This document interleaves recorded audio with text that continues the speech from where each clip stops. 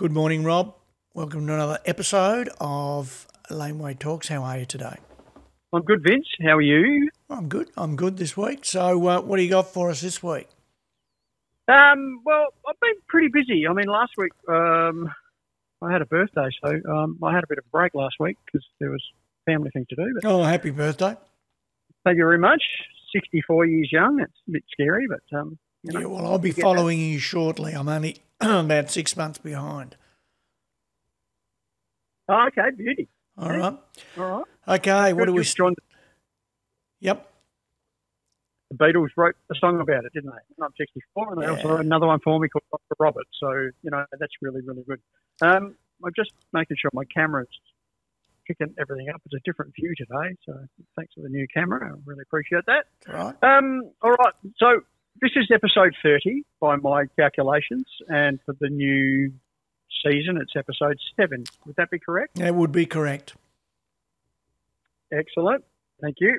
Um, so we've been working. I sent you some new artwork for the Another Way single by the Virgin Soldiers. Or Did? I better, yeah, I better write that down. Um, Yep. I'm, uh, I'm running so behind. So, uh, Virgin Okay.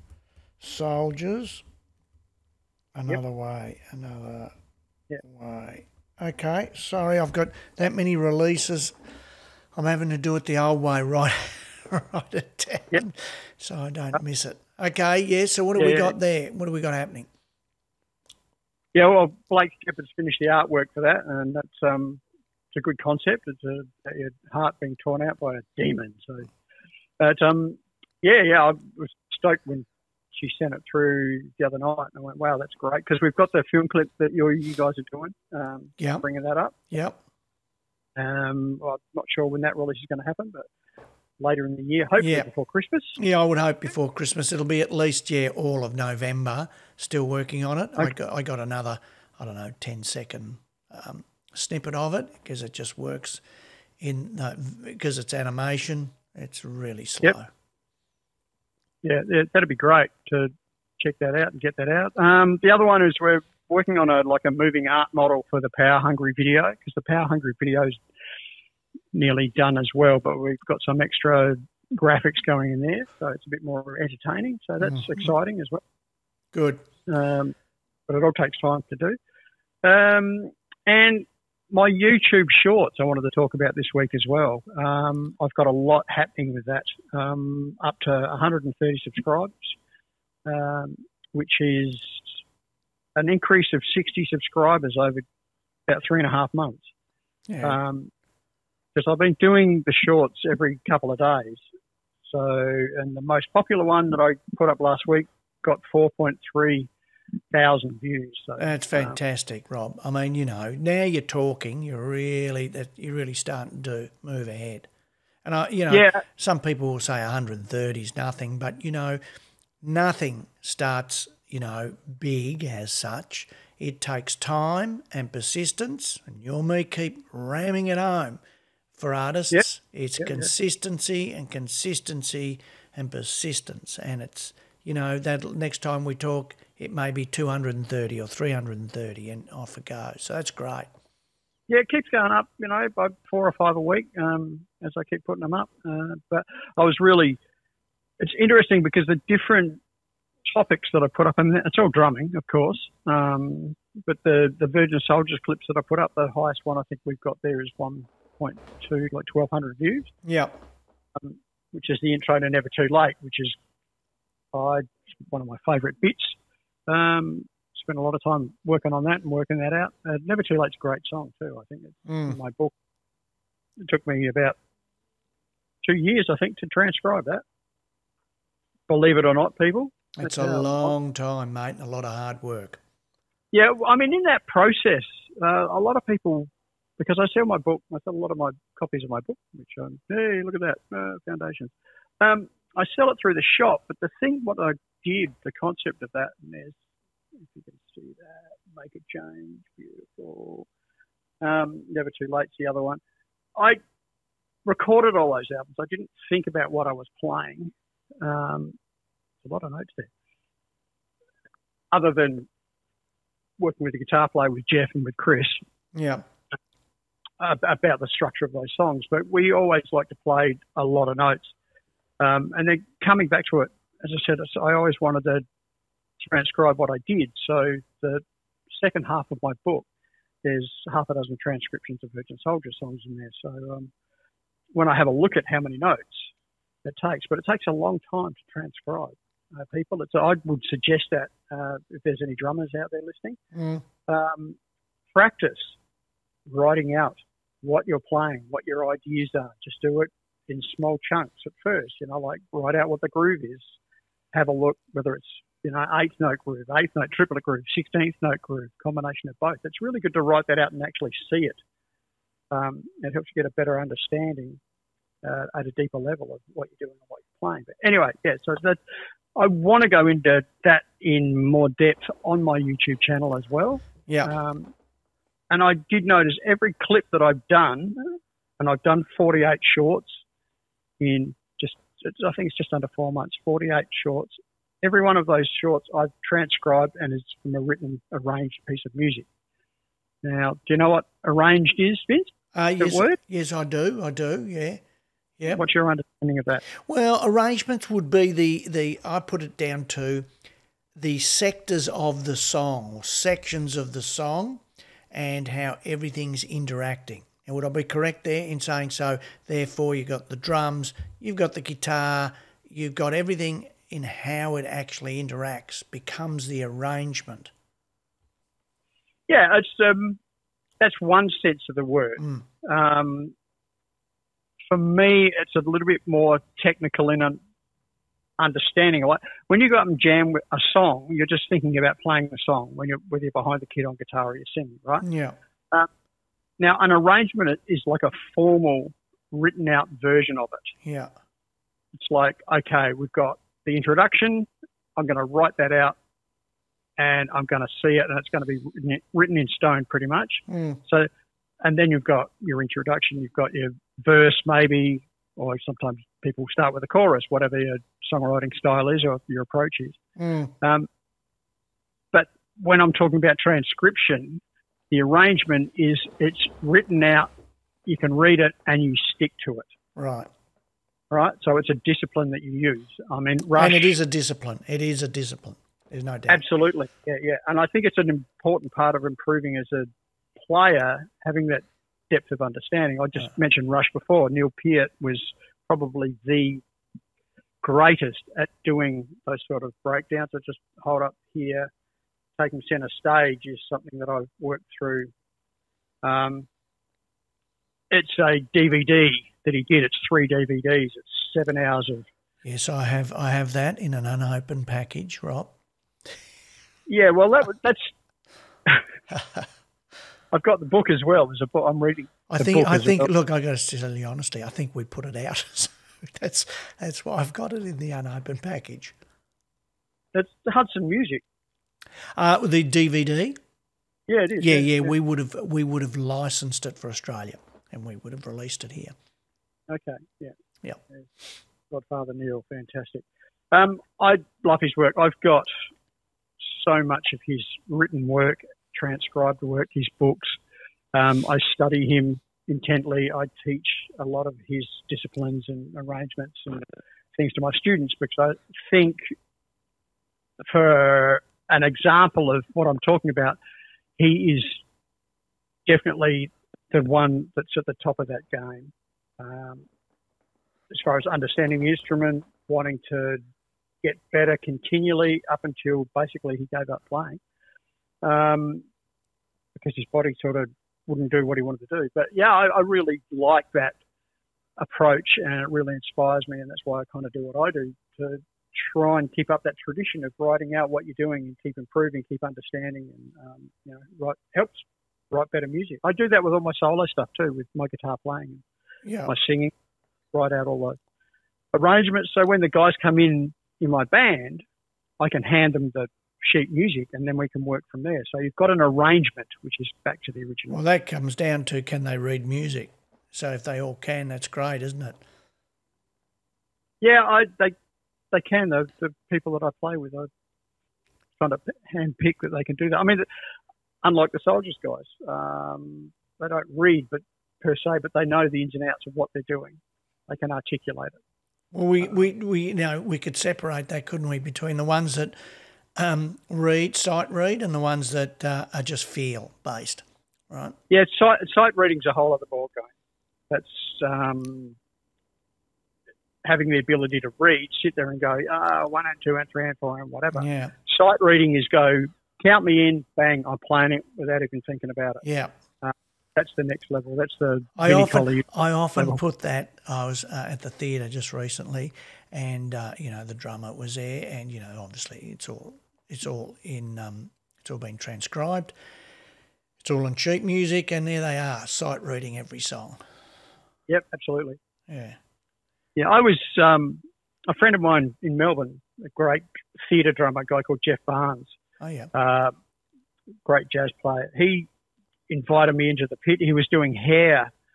Um, he invited me into the pit to watch him do it, like sit next to him, and he's sitting there pointing to where he was in the music with his drumstick, you know, like going, "Oh, here we're here, we're Yeah. here, we're here, here." Um, while he's talking to me, while he's playing the show, like with one hand and turning the pages of the music, and I'm sitting there with my jaw on the ground, going, "How the hell do you know where you are?" it was the just the most glorious show of musicianship. Um, and he was so relaxed about it and killer player. And the, the, the show was fantastic. Hair's a really good production. Um, you know, but he's done lots of lots of shows like that. You know, Ben Todd's another one who's amazing. He's back from Cirque du Soleil. He's doing that over here at the moment. They've just finished Hairspray, I think. Um, and they're big gigs. yeah. Yeah. Yeah. Absolutely. Yeah, there's lots of you know great players like that that can do that. It's a different style of drumming as well. Um, and yeah, very hard work. So mm, no, it's good. All right, moving on. Um, the other thing I wanted to talk about is um, still on the kind of the Virgin Soldiers thing with um, what's happening with that. Um, we're kind of looking at trying to get something together to come over maybe early in the new year um, because I think we'd like to do a bit more promo on the couple of new singles we've got coming out. So Yep. talking with Gib and um, some of the boys on that. So we could know, possibly see some live shows from Virgin Soldiers. in the new year, yeah, Right. we're, we're getting a few. We're going to have to get a sub player for uh, the rhythm guitarist. Chris Farley's not very well at the moment. He's got health problems. So Sorry to hear him- that. Uh, yeah, it's, he's kind of like the engine room of the band. Um, yeah, that's a, a little bit tricky that one. Well, but, you know, um, interestingly, you say that. So, you know, when you look at the formulation of a band, and when a band has a, a you know, some people go, "Oh, it's just the rhythm guitarist. A good rhythm guitarist is the backbone of, of the whole rhythm section of the band. Yeah. It is very, I actually think it's very difficult to be a, a, a really hot rhythm guitarist. It it's a hard gig. A rhythm guitarist, yeah, it's just a rhythm guitarist, but a really hot rhythm guitarist really gives substance and uh, a solid sound to the band. It's um important section, I think. yeah, I have grown up with really good rhythm guitar players. Um, I mean, I think Chris Farley's probably one of the best ones I've ever played with. Like, you know, the, in the tradition of the Rob Rileys, like the Tats, um, that style of player. Um, Yeah. But yeah, Chris very much held it together. I mean, you know, Jeff Marcus as well. Um, they both interacted very well in like the two parts that they played. Like when you think of two guitar players, a rhythm guitar player and a lead guitar player, you know, even if you go back to status quo, Well, isn't that talk- interesting? I was just watching Status Quo last night, live show. Where? Yes. Yeah, yeah. When you got Rick Parfitt and Frank Rossi, you know, like um, I remember the first time I saw them, Apollo Stadium over here in Adelaide. I think it was '74. Um, I don't know whether it was Pile Driver or what tour it was. It was just before On the Level came out, the year before that, because I saw them three years in a row. Their guitars, they came out and just, you know, hit a chord and your chest shook. And I Ah. was half. and then the way that they interacted, there was these two rhythmic things going on. There's like the upbeat thing that Parfitt played, like one and two, and three, and, and then Rossi's playing the downbeat thing. And when you interact that, you know, the, the syncopation that comes out that, you know, sort of moves you. And that is, um, I think that's very, very difficult to do in a, um, well, a musical. yeah, well, they're a very rhythm based band, aren't they? I mean, yeah, they're great lead guitarists because they can play great lead breaks and whatever, but they are yes. essentially a rhythm based band.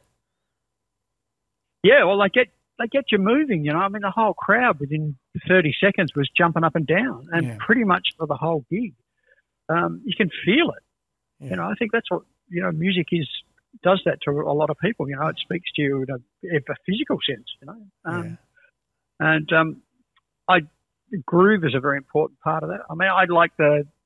Well, I must say the drumming. The drumming didn't excite me in that band at all. I was watching it last night, and um, I was not excited was it, by the drumming. This was 1982. Was, was it still John Coghlan? Oh, I wouldn't know, mate. I was never. The really, really long straight hair and the mo. No, no, it wasn't short hair. This guy, and he had a no. full concert kit.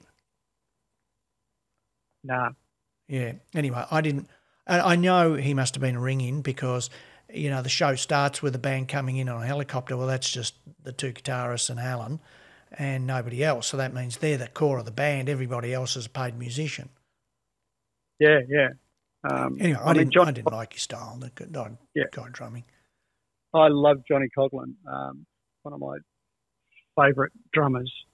Um, as I said, because I saw him uh, three times, um, and just the way he played, how cool he was, and rhythmically, there's a lot of Tom stuff that's going on that he's doing. Um, the intro to "Just Take Me." I don't know whether you know that song, but no, I don't.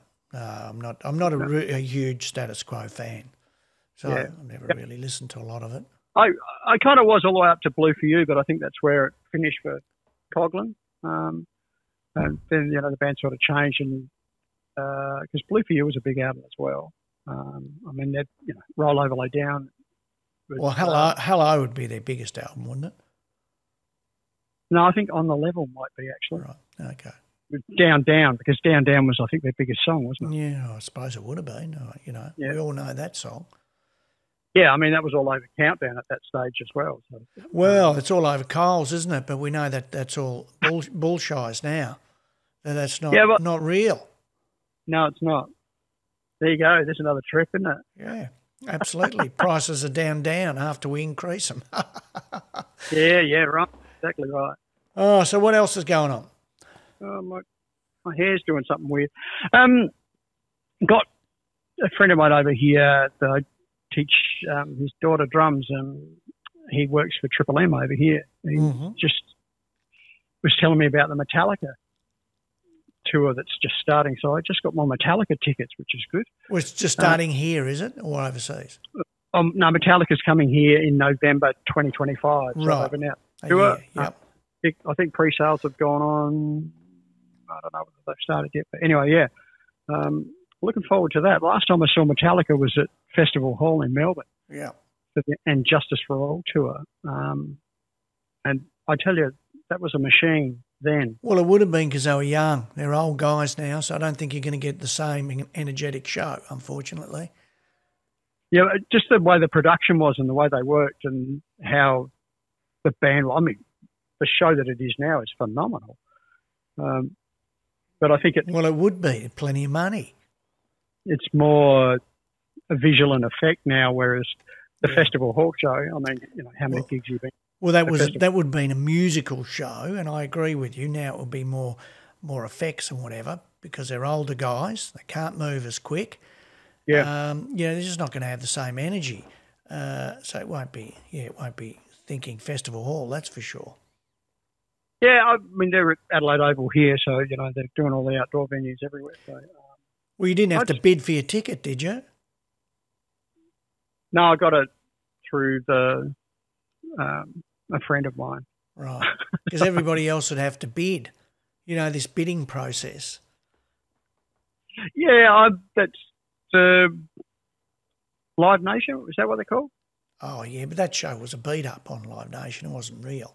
I mean, don't don't believe that. That show was just rubbish. No, but isn't that the, the booking agent? Well, no, that's Ticketek. They own Ticketek, and the others own Ticketmaster. You got, you know. Yeah. Yeah, but it's, um, you know, no, the the bidding process can be controlled by the band. When you do the contract, you could easily say, uh, as the artist, I don't want any of that going on. Tickets will be at this price. So you want a VIP ticket? It's going to cost you seven hundred and fifty dollars um, up front row or thousand dollars, and then general admission. Well, they're one hundred and fifty dollars, and there's no no bidding, nothing. You could you could specify that. So we don't we don't want people to be fooled by TV shows, especially not the ABC, where yeah. there's there's no reality in anything the ABC tells you, um, and uh, you know that can all be contractually organised at the very beginning. So if they are having the bidding process, the band's in with them and they want it. I think it's disgusting, but you know that's my thing. Um, is, that, is that really how it works? That's absolutely how it works. Absolutely, you are in full control as an artist on that level. You're in full control. Pearl Jam were the classic. Pearl Jam are never wanted to rip off art, their fans, and um, I look, I'm going back 20 years now, and when they were coming here, I remember, um, I think they were doing the Sidney Myer Music Bowl, and yeah. they restricted their ticket prices to $50 and $70, you know, 70 being your front row and $50 general admission. And, oh, wow. uh, you know, because at the time they would have charged, I don't know, $95 or $85, and they restricted it and they were in control and you can be in control. So when I see those shows like that beat up on Live Nation, whether I like Live Nation or not, it was a beat up. And uh, you can control everything when you're an artist on that level doing those level of shows. It's, you know, okay. um, uh, on top of that, you could even be in control on lower levels too. Anyway, uh, you know, we don't want to. That it's a whole discussion in itself. It's about yeah. management. It's about the band being in control, the band mm-hmm. knowing what they want, not saying yeah. it's got nothing to do with them. Um, you know, there's integrity involved. It's about your fans. But when you allow that kind of, let's say, the bidding process to go, um, all it is is about money. You don't care about the fans anymore, and you've moved to another stratosphere. And that then gets down to, to me, the breakup of society between the rich and the poor and the middle class being wrung out, you know, you know, squeezed out. And, um, and you know, you have to take control at some form. Um, as I say, if you squeeze out the middle class, you're looking for revolution. And um, we need to take control and say how much money is enough money, and artists need to do that too. And when they say they need to charge Joe's to cover all the costs, well, do you need to have, um, uh, you know, 10 semi trailers worth of equipment to do the show? And, you know, they always say, oh, the next show's got to be bigger and better and better than the last artist. Does it have to be that? Or can it just be a, a great show? It doesn't have to be brilliant. And they're all the questions, aren't they, that come out with the money. So if I'm going to have some kind of mm. amazing stage show and it's going to cost millions and then we've got to transport everywhere, and yeah, of course, tickets will have to cost more money. I remember going to see Prince, you know, and um, I saw Prince a couple of times, but saw the last time I saw Prince only before he died, uh, and the show was just phenomenal, of course, because it was Prince and this guy kind of improvising right throughout the whole show. Shows you how good a guitarist he was. But the the setup was just the stage. The drummer, um, the drummer always fascinated me because he'd always have this big fat black dude who'd just be unbelievable, and he used to cover his whole set with a glass, uh, you know, enclosure. Um, uh, and I, I don't know why they do that, Rob.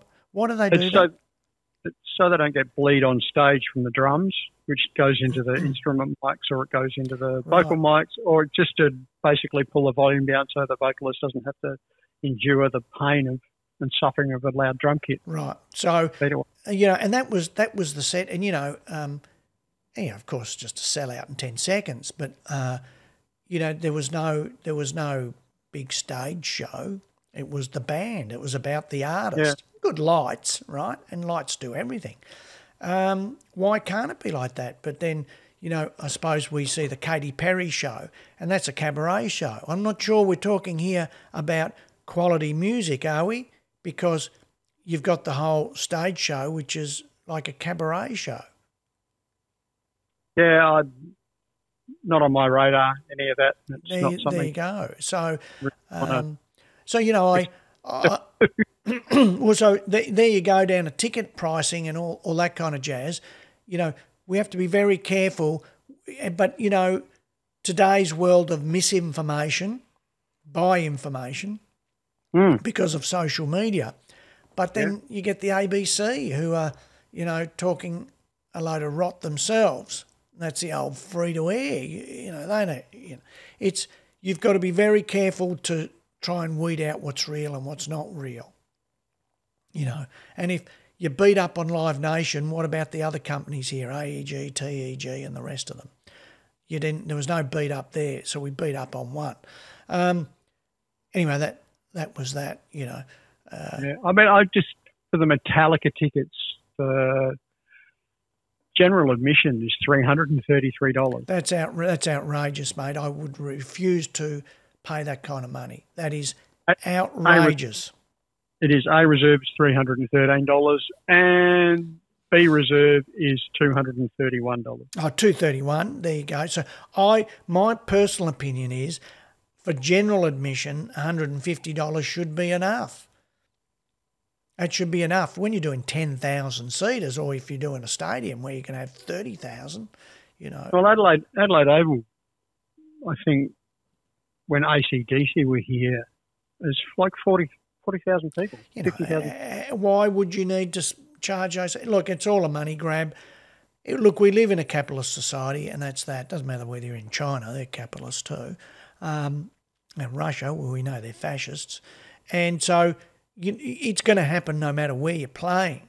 they go for the, the biggest buck. But look, I'm anyway. That's my opinion on it. Is it's trying to deliver for your core audience, and you're ripping them financially. You know, when cost of living crisis is is a killer now, and your average person is your average punter follower. It's not just all rich people. You know, it's across. I would suspect it'd be middle class and down. There'll be the rich, but Yeah. more the others. But anyway, um, that's that. Uh, a few- Yeah, I thought it was a ridiculous amount of money. It is ridiculous, and it's um, it's not. I refused. I refuse. Well, I suppose I've never. That's terrible, isn't it? I've never paid for a gig in my life. I don't think, because you know, because you know people, you you can get in. But, um, but you know, uh, it's just it's another world in music. We have bands not being paid. Everybody out there, you don't get paid from Spotify because if you don't have a, a thousand listeners or a thousand streams, uh, you don't get any income. The rest of them get your income for bringing people to that site. Uh, we have shows which are outrageously expensive, uh, Yeah. merchandise which has just gone through the roof. So a t-shirt now is seventy dollars. Uh, you know, it just it's incredible what's going on one way of pulling that back is I want you know I need everybody to support Laneway Red. We are growing and we are growing, and Laneway Red at the moment um, we're still you know introducing people to it. We will be for the next twelve months, even eighteen months.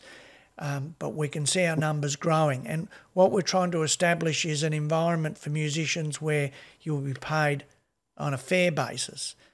At the moment, you know, we make no bones about it. We're building it, and it's uh, it's um, uh, it's populated by all the laneway music artists and um, streaming. We, we're not paying anybody because we're not paying that. We're funding the whole thing at the moment, and downloads. Yes, the artist gets eighty-five percent, but our, as I said to someone yesterday, downloads will be gone within the next couple of years. I mean, realistically. So it's all about advertising and then sharing in that 50 50 with the artist, which we will hopefully start to do in about a year's time. So it's just getting paid per stream. Yes. So what what we're proposing is that um, um, well, I always use the example: if you have a, uh, uh, an advertisement top and tail on your audio stream, and say that costs the advertiser one cent, I'll just use that as an example: one cent. That's a 50-50 um, participation rate with us and the artist, so they get 0.5 percent, we get 0.5 percent, um, and that is, you know, someone said to me, "Really that low?" And I said that is a hundred times better or a thousand times better than you'll get through Spotify.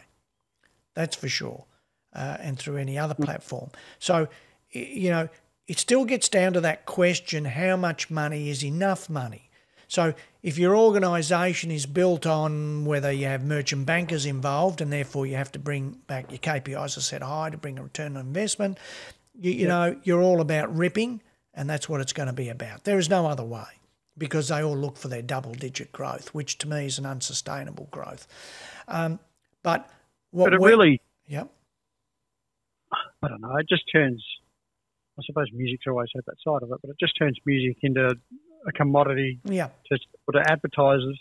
Exactly. Well, it does. So therefore, what we're trying to do is to make sure that the musician can make an honest dollar from their creative works. You don't know how many times I get asked, can we use this song? And I go, well, yeah, we'll, we'll, we'll have to cost that out for you. And they go, no, no, we can't afford to pay anything, but you'll get some, you know, the marketing out of it because, you know, it's either a big show or it's a big something else. And I go, no, the artist wrote the song because he wants to make money out of it or she wants to make money out of it. And therefore, we have to charge you for that copyright. You can't get it for free. So, um, you know, this is a constant battle. It is about those creative works are worth money. People do it to earn a living. And you're right, people try and cheapen it all the time as if it's a free commodity. That, you know, the music is just free. It's, well, hold on, it's just free. And that's that. Anybody can write music, Rob, can't they? No. No, no, no that's oh, right. Oh, no, let me rephrase that. Anybody can write what is perceived as music, but not everybody can write what is perceived as good music. Yeah, exactly. But that's it's all subjective. Um, people are brainwashed into what they think they like now, anyway. So, well, I'll I'll contravene that with saying that doesn't mean that the person writing the good music is a good musician because that doesn't count. But it's subjective. They could be a bad musician, but still write a really good song, what you perceive to be a really good song.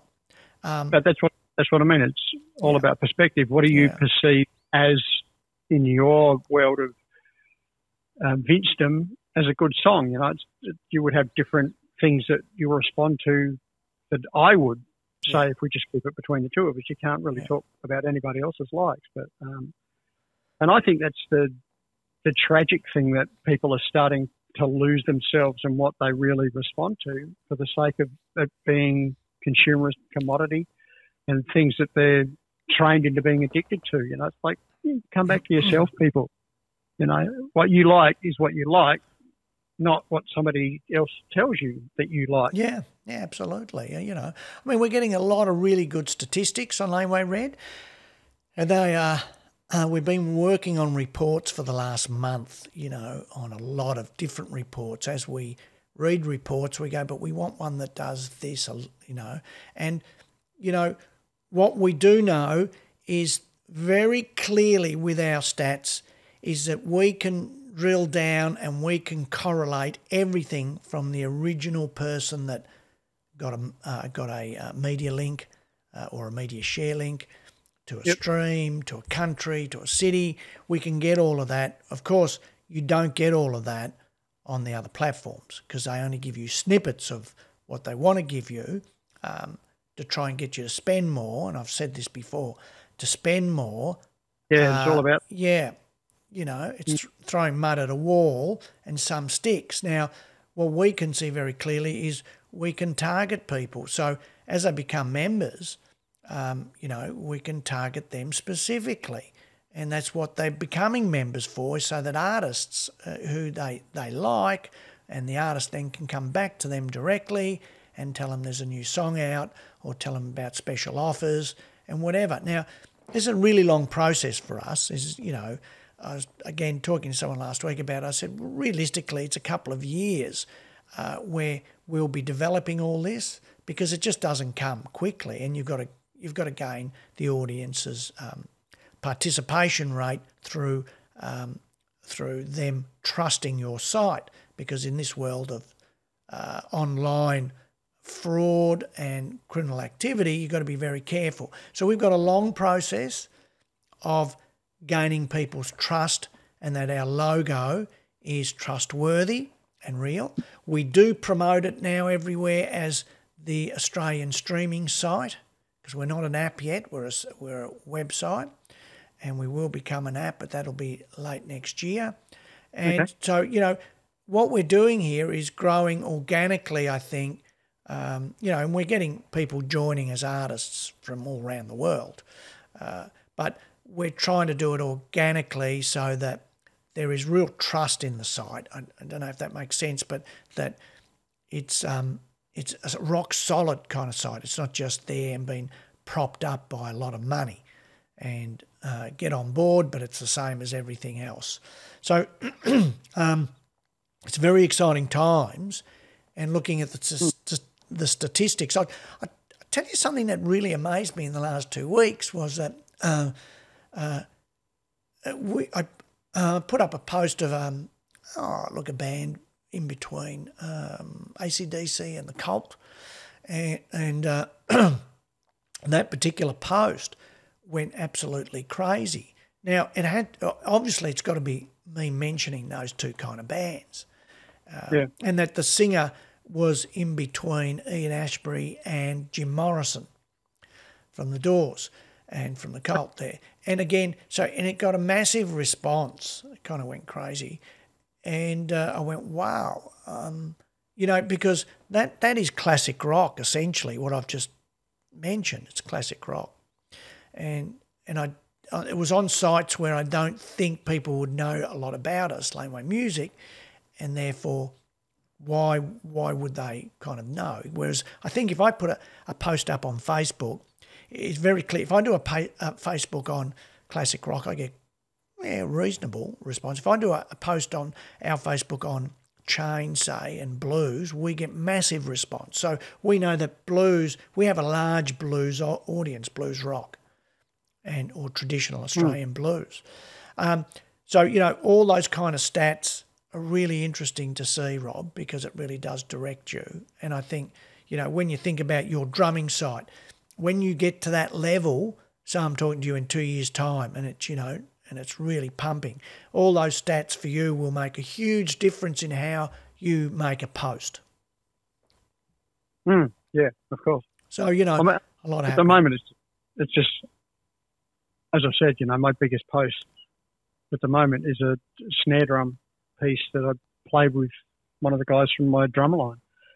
Um, I put, I mean, you know, that, the most popular things that I put up are the snare drumming posts that I put up. Um, I, I, don't, not sure why, whether it's just the audience that I get out to or people like that sort of drumming because it's the level of difficulty is quite high and um, I think the pieces we're playing are very challenging. Uh, but they sound great too. So, yeah. I mean, you know, on, on that note, you know, I've got my drummer line playing the pageant on the weekend. We've been worked all year to get our rep up to play and march through the streets of Adelaide to over 300,000 people in a couple of days. So, you know. Fanta- um, absolutely fantastic. Yeah, we always have a lot going on, Rob. Um, yeah, yeah, it's, it's good. It's so tell like me, well, tell me what's going on with, because, you know, we, because I had that from the last show that you were actually getting ready for the pageant, you're having rehearsals yeah, yeah. and whatever and so that's happening. And what's going on with your Michael Hill project? Um, unfortunately, Michael's had a death in the family, so they've had funerals and all that sort of stuff to arrange. So yeah, condolences to Michael and yeah. family on that one. But, there. Yeah, thank you. Um, I know it's almost finished, but um, I haven't spoken to Michael for more than a couple of days, but I didn't want to press him. Yeah. Hey, what are you doing about your video? Yeah, yeah. Um, yeah. didn't want to be heartless in that. So yeah, I'll just let that unfold. But yeah, I know it's nearly, it's pretty much done.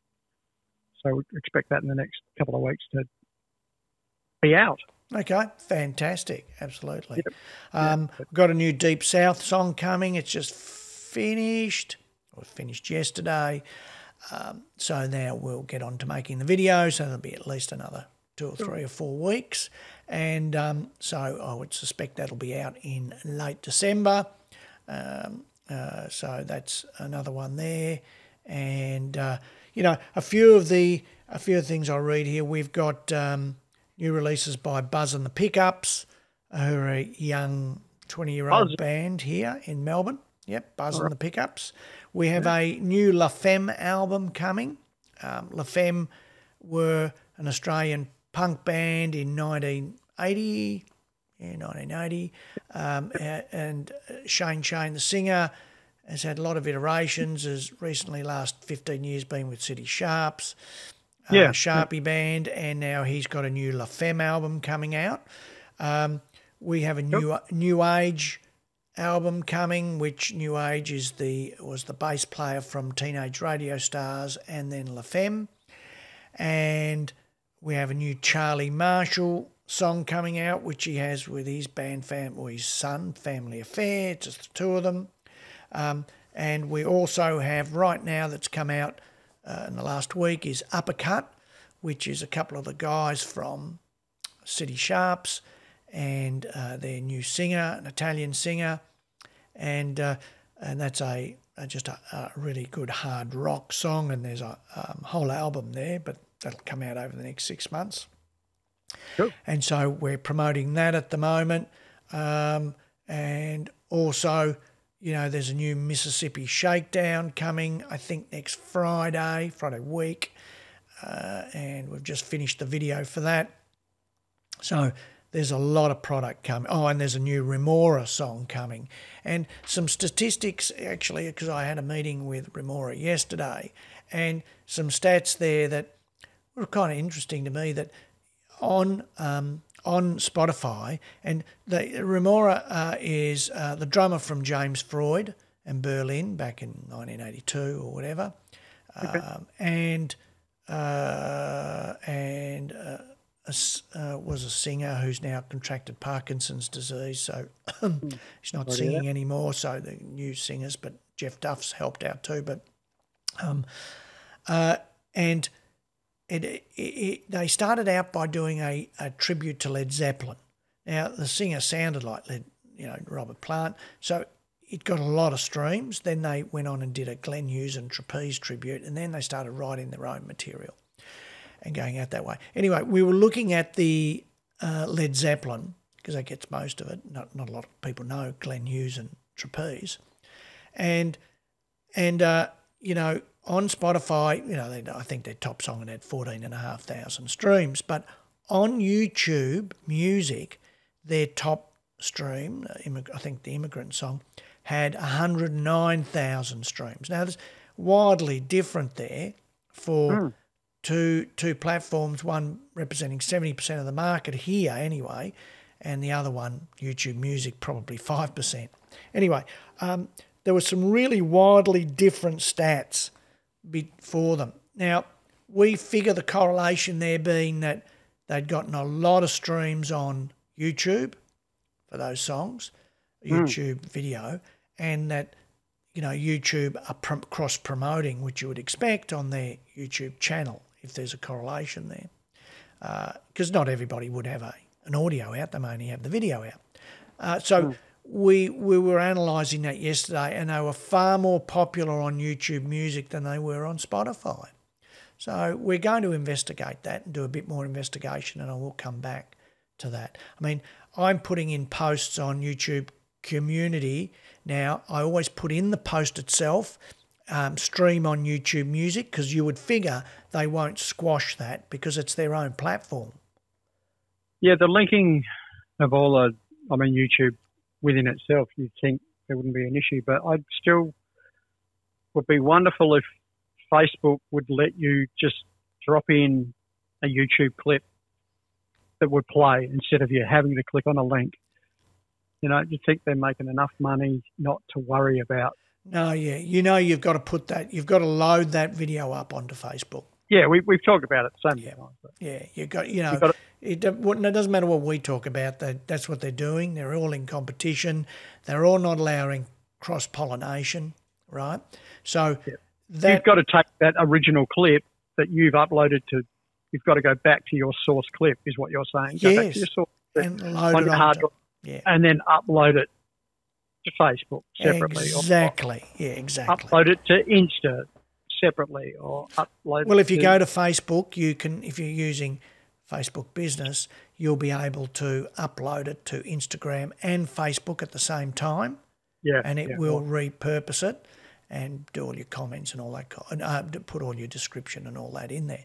Um, otherwise, yes, you do what you said, do it separately. Yeah, yeah. Yeah.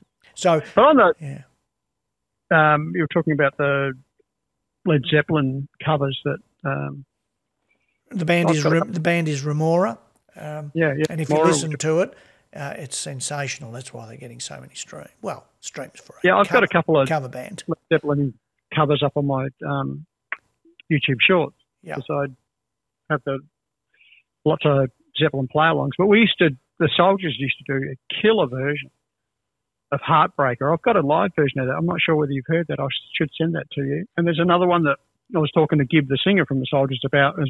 Like to release through you as well as our version of Dog Eat Dog, which is just killer. Who did AC. who, ACDC? Right. Okay. Yeah, Yeah. yeah. Um, Well, you know, look, those as I said.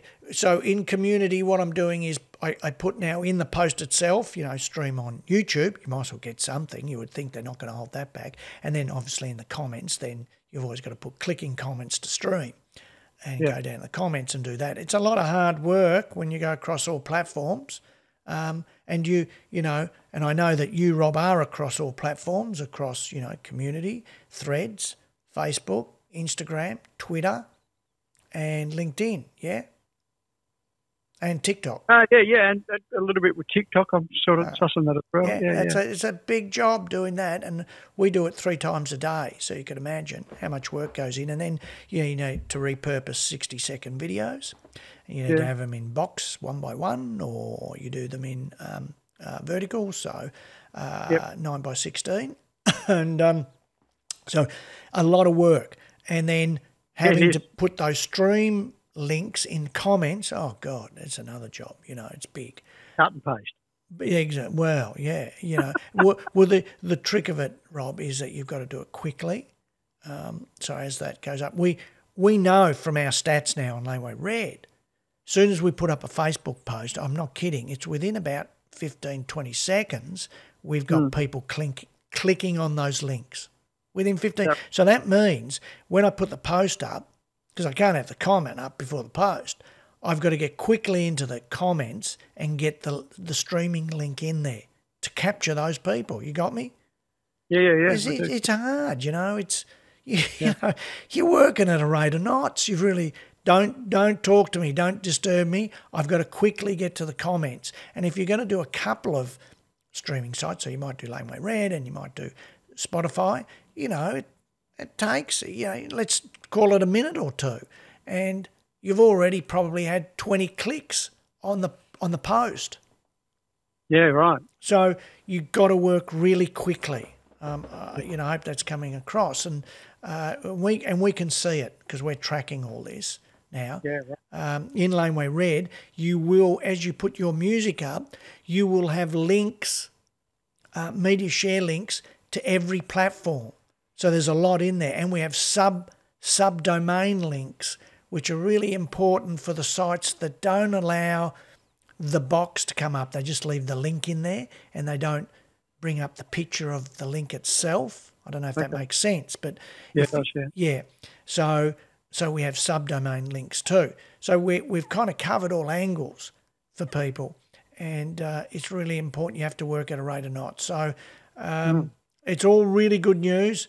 I think that uh, we're getting closer towards understanding that those stats to the benefit of the artist and to try and break artists because you know again I get a lot of comments about you know thanking us that if it wasn't for Laneway Music uh, a lot of these uh, heritage artists and more mature artists would have nowhere to go but Bandcamp themselves or whatever, you know. Yeah.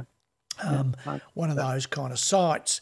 And, mm. um, you know, then they've got to do it all themselves. On top of that, they've got to create the music, which is a, a tall, tall order. So, you know, we I get that all the time. And, you know, I for, for example, there's a post from Phil Manning, uh, you know, Australia's premier blues guitarist. And um, I was begging him to do this song, Cane, Cane Fields Burning, on his 12 string guitar because he's done a couple of acoustic songs and they have gone crazy on our Facebook. One's got quarter of a million views and a couple wow, of thousand likes and, you know, yeah. like a thousand shares. The other one, I think, had 50,000, um, yeah, 50,000 views and a thousand likes and you know on it goes and 700 shares or something anyway doing really well and then hmm. you, I put up the next so I might put up um, you know look I might put up Virgin Soldiers and it gets five likes and you know 384 views but but what are we what are we doing that for well you know, or I might put up the Angels, which, you know, would go crazy, and then we put up Virgin Soldiers straight after. We're trying to tap into that audience for our bands like Virgin Soldiers or, um, you know, I don't know, other bands of ours, you know, Southbound Snake Charmers or whatever. And we're, we're trying to tap into that audience for you, the artist, to grow yep. grow that and capture that that audience. So, you know, it's really there's a method to everything we're doing. And some, you know, I had, I had one particular person who was having a bit of a chuckle, you know, looking at a few of the Facebook posts, go, oh, look, you're only getting five and 10 likes and 300 views. And, and then I go, well, why don't we have a look at some of the big ones then? You know, and he quietly shut up after that. Um, and the guys were being a little bit condescending, you know, and I thought, well, mate, you know, have you got 32,000 followers, genuine followers on your Facebook and 43,000 on your YouTube? We're, we're building we're trying to build, and we're trying to build yep. honestly and organically so that yep. They are genuine followers, not just purchased followers. I could go on a real rampage financially, and I could build those followers really quickly, but they wouldn't be committed. That's the problem, um, you know.